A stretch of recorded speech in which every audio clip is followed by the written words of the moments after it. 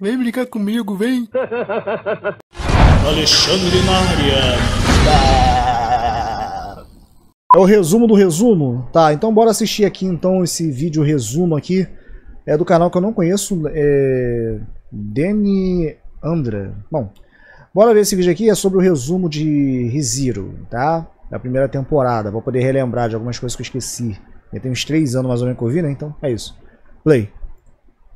Esse é o resumo sobre Riziro, e esse vídeo Ah. é sobre a primeira temporada. A parte 2 será sobre a segunda, e a terceira, Ah. bem que eu queria que fosse sobre a terceira temporada, e Mas assim por diante. tinha. Mas enfim, nada de temporada nova. Ainda. E se tu chegou aqui de um futuro onde foi anunciado uma terceira temporada, ou tá em lançamento, e tu tá aqui pra rever algo antes de assistir, saiba que com esse anúncio tem uma criança feliz agora. Opa. Enfim, se tá até aqui, Tem. deixa um like e se inscreve. E bora lá. Ah. Subaru do nada é invocado a outro mundo, sem saber como e nem o porquê. Mas como os Do Isekai nada. nos ensinam, as pessoas são invocadas por um motivo. E esse não era o caso. Quer dizer, o Subaru até acha que é, ao tentar usar poderes e tentar achar o waifu que invocou ele. Ah. Mas na verdade aqui se condiz um pouco mais com a realidade. Quer dizer, ele tá num mundo novo e não sabe nada, nem é a mesma leitura daquele lugar. E coisas como dinheiro e comida não é o mesmo.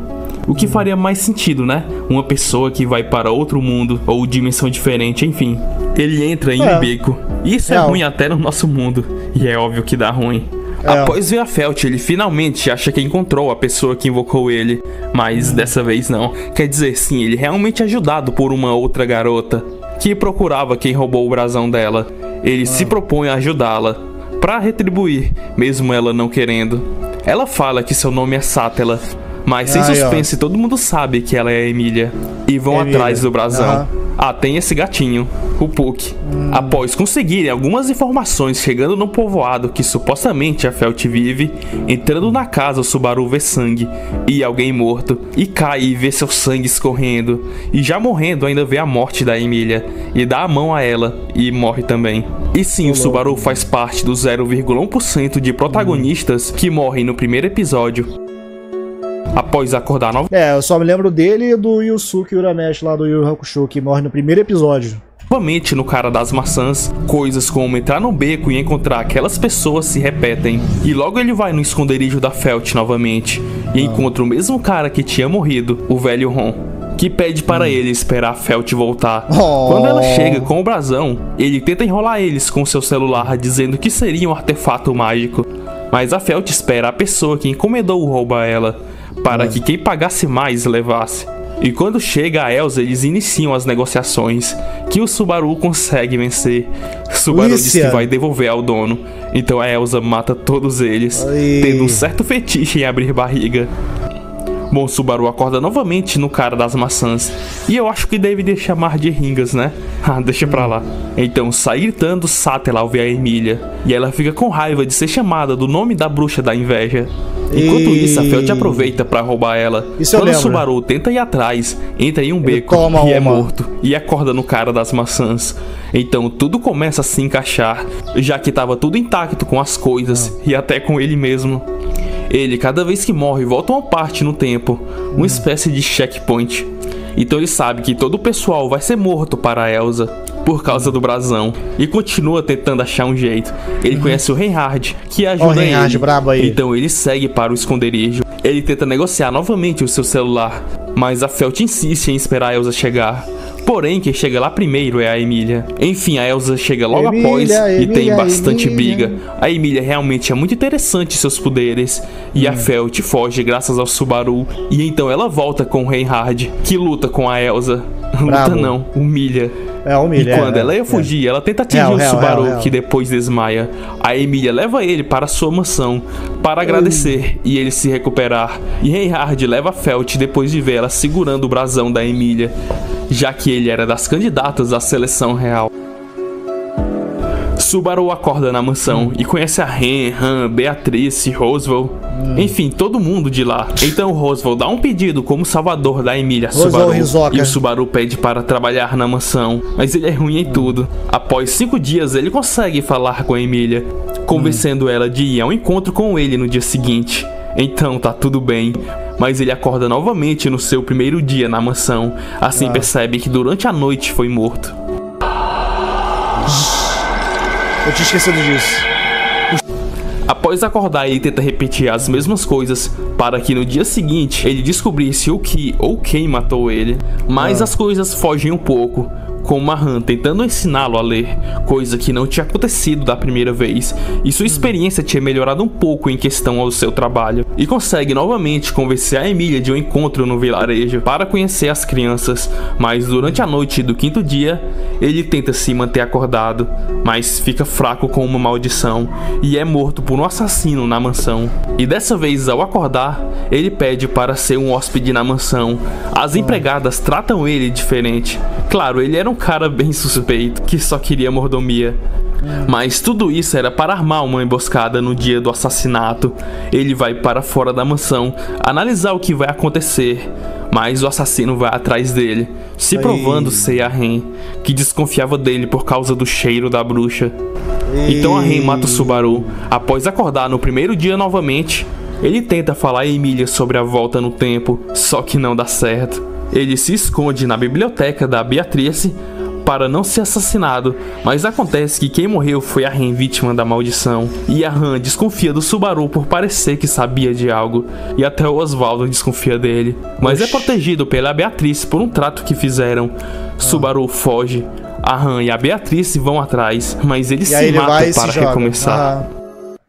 Caraca, essa parte Subaru se esforça aos, po aos poucos eu tô relembrando de algumas coisas aqui. Cara, que já tem um tempinho já que eu assisti esse anime, mano. Então eu esqueci de praticamente tudo, tá ligado? Eu teria que vir rever, entendeu? Mas essa é a primeira parte, assim, eu achei interessante do conceito do, do anime, tá ligado? E aos poucos que ele tá mostrando aqui, eu já tô começando a relembrar.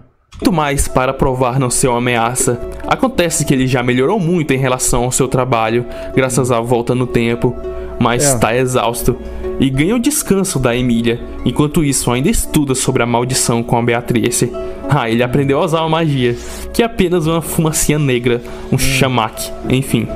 Ele sabe que a maldição vem de outra pessoa e pretende ir ao vilarejo tocar em todos e cancelar a maldição antes que seja ativada. Enquanto isso, Roswell vai se ausentar. Após a Beatriz ajudar novamente ele, sabe que a maldição vem do cachorrinho. Subaru vai querer salvar as crianças e dessa vez a Ren vai tentar ajudá-lo. Ao entrarem na floresta cheia de majus, eles ajudam as crianças, mas tem que enfrentar. E a gente vê a transformação da Ren, mas mesmo assim Subaru é atacado. Subaru foi salvo, mas ganha várias maldições, então a Beatriz não consegue desfazer tantas assim. E acontece que a Ren foi sozinha tentar ajudá-lo, matando os majus na floresta porém ela que tem que ser ajudada, já que não consegue controlar sua transformação demoníaca. Após irem salvá-la, o Subaru e a Han, inclusive o Subaru acerta a Ren no chifre, fazendo ela retornar. Demônios nascem com dois chifres, porém gêmeos nascem cada um apenas com um chifre, como a Ren e a Han. Elas seriam mortas, mas a Han é muito especial, então a Ren era sua sombra. Mas um dia a Han perdeu seu chifre e a Ren vive essa culpa. Subaru vai matar o Maju. Até se sai bem com a sua fumacinha, mas quase morre. A Ren se preocupa, mas o Roswell salva eles chegando lá. A Ren fica feliz pelo Subaru não ter morrido e o Subaru ajuda ela a se aceitar. Sempre um sonho meu falar sobre o futuro com um demônio enquanto rimos. Oxi. Fanático como um demônio vai haver uma reunião na capital com as candidatas à seleção real. A Emília pede para o Subaru não ir, já sabe como ele é. Então ele dá Normal. seu jeito e ainda entra lá com uma Olá, das rivais de sucessão da Emília, a Priscila. Nome bem brasileiro, né? Hum. Deveriam ser cinco candidatas, real, real. mas teriam apenas quatro. Mas Reinhard entra com a Felt, revelando que ela também era uma das qualificadas, já que o brasão responde apenas a quem se qualifica a sucessão cada uma das candidatas com um cavaleiro, oh. tipo a Felt, o Reinhard, Emília, Roswell, a Priscila e Aldebaran, a melhor dupla, Gush Félix, o macho alfa, e os piorzinhos, Anastácia e Julius. Que inclusive Subaru discute com Julius, tá até com ciúme da Emília, o Subaru, e ele é retirado por ela da reunião.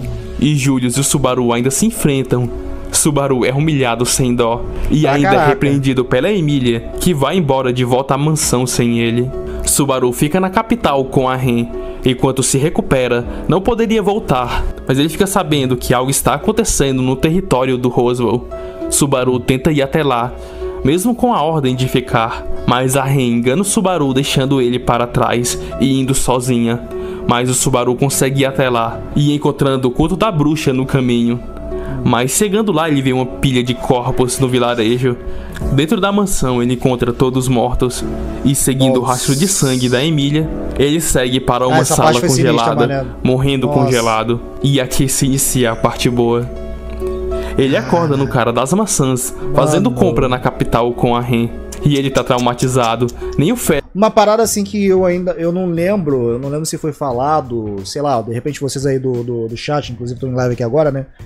é, pode me falar sobre isso. Tipo, quando ele morre, ele retorna, tipo, quanto tempo? Tá ligado? Porque, tipo, no, no, último, no último episódio que eu vi, já tem um spoiler aqui do primeiro episódio da terceira temporada que eu assisti em live, já vou falar logo, né? Ele morreu, mas ele não voltou para esta parte do cara da maçã. Ele voltou, assim, ele voltou, mas não tanto assim. Tá ligado? Então, tipo, é. O que? Não tem um tempo determinado? Ah, então é aleatório. Ele pode tanto. Se, se ele morrer, então, ele pode voltar tanto pra essa parte aí da maçã, quanto pra tipo 10 minutos antes, ou uma hora antes, ou um dia antes só, sei lá, é isso? Então não tem determinado. Bom, sei lá, ia ser inter... eu acho que ia ser interessante se fosse. É, tipo assim, ah, pô, tu morreu agora, você vai voltar. Sei lá, um ano. Ou dentro do que seria um ano, sei lá. Um exemplo, não sei. Sei lá, mas como. Sei lá, não sei se foi mais interessante assim também, sei lá. Félix pode curá-lo. A Ren tá levando ele de volta à mansão para ser cuidado lá. Mas chegando na mansão, eles são atacados pelo culto da bruxa. Subaru é levado até Betelgeuse. Que cara insano, na moral. A Ren vai atrás. Chegando lá, ela é toda torcida os seus membros. Sério, muito pesado. O culto da bruxa vai embora, deixando Subaru preso, que se solta graças a Ren ainda viva. Ele leva o corpo da Ren com ele. Chegando na mansão onde tudo neva, ele vê os corpos novamente e sai o Puck nessa forma brutal, decapitando o Subaru. Ele Nossa. acorda novamente no cara das maçãs e é possuído de vontade. Ele está com ódio tremendo. E bem resumindo, ele pede ajuda a Clutch que nega, já que nessa negociação ele só faz pedir algo sem oferecer nada em troca. Ele pede ajuda a Priscila e ela humilha ele sem dó, trata que nem um lixo. Ele pede ajuda Opa. a Anastácia, que engana ele. Queria apenas informações sobre a Crush. Ele contrata as carruagens para transportar as pessoas do vilarejo. No caminho, as carruagens vão diminuindo e eles encontram a baleia. A Ren se sacrifica pelo Subaru para pegar a atenção da baleia enquanto eles fugiam. O Otto, esse cara da carruagem, ele esquece quem é a Ren. E não importa o quanto o Subaru falasse dela, até que a baleia volta.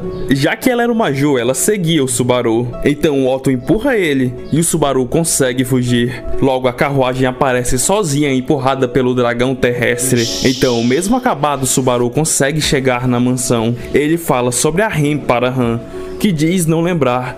E ele não consegue provar que ela era real. Caraca. Por isso, mano. mesmo com a dor, ele resolve contar a Emília. Eu esqueci que era, era na primeira temporada, eu pensei que era na segunda, mano. Caraca.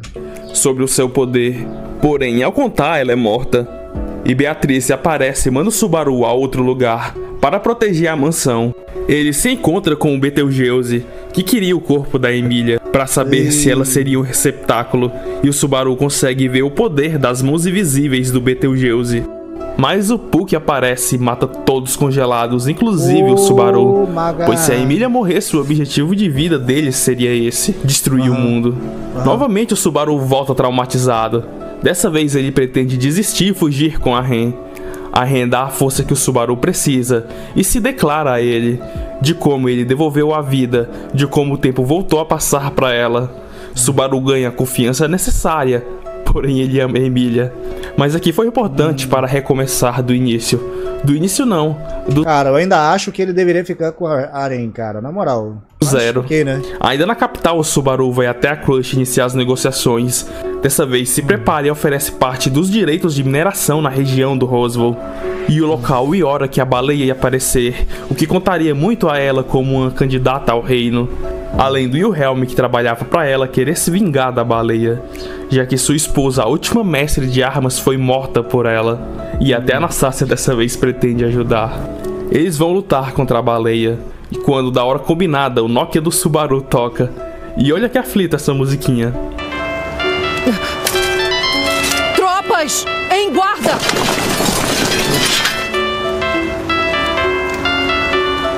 Então a baleia branca aparece. Eles lutam contra a baleia, principalmente o Wilhelm, que se destaca muito querendo vingar sua esposa morta Real, pela real, baleia. real, real. E também. Ricardo. É brabo, é Assim, brabo. pra trás, o dragão terrestre do Subaru. Tem os irmãos do esquadrão da Anastácia.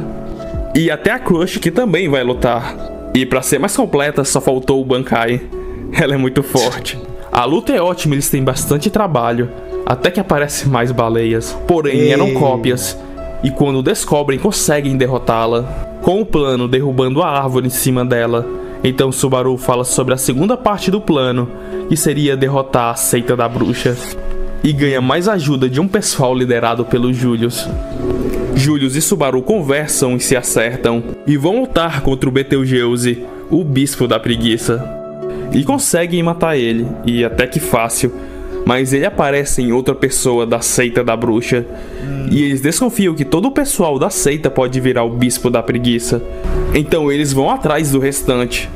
Eles separam os aldeões do vilarejo para poderem lutar sem ter vítimas. Mas o pessoal da seita estava infiltrado e a luta começa ali mesmo. Eles tentam matar todos da seita até o último, que a Emília aparece em grande estilo matando ele. Porém, o poder do Betelgeuse vai É, parar em Subaru, pro Subaru, que é né? morto. Subaru retorna e Caralho, adianta bastante coisa, já que tinha bastante informação sobre o Oxi. pessoal do culto da bruxa. Metade dos aldeões vão à capital e metade ao santuário, que inclusive o Roswell já está lá. Então antecipam a morte do pessoal do culto da bruxa e deixam o Betelgeuse pro final. Julius luta com ele com a visão do Subaru, já que podia ver as mãos invisíveis. Então derrotam o Betelgeuse e após querer reaparecer em Subaru, ele diz que pode retornar da morte. Assim ele sai do corpo do Subaru e aparentemente é morto. Uma armadilha na carruagem da Emília com as crianças que fugiam do vilarejo. Subaru e Otto vão atrás. Betelgeuse reaparece atrás e Subaru derrota ele e se encontra com a Emília. Salva ela e explode a armadilha. E finalmente Oh. conseguem conversar e se Mó acertam. trampo do caramba pra chegar Subaru no final. fala que ama a Emília e ela fica feliz já que alguém pode amar uma meio-elfa de cabelos prateados, assim como a aparência da bruxa da inveja. Quem não Maria? E chegamos ao fim dessa temporada. E obrigado Bravo. por assistir. Se inscreve aí e deixa um like. Não sei quando vai sair a parte 2, que é sobre a segunda temporada. Se anunciar a terceira, eu me apresso. Mas é isso aí. Comenta aí e valeu. Valeu. Bom, tá aí, gente. Pô, interessante, cara. Gostei do canal do amigo. Vamos dar uma moral pra ele. Não sei se ele tá começando agora. é, ou se. Eu não lembro. Enfim, eu acho que tem dois anos esse vídeo, né? Parece que ele tá começando já. Mas enfim, vamos deixar um like aqui pra ele, já me inscrever no canal. Mano, é, como eu falei, eu tinha esquecido praticamente de tudo. Mas conforme ele foi mostrando aqui, eu fui me lembrando de alguns acontecimentos.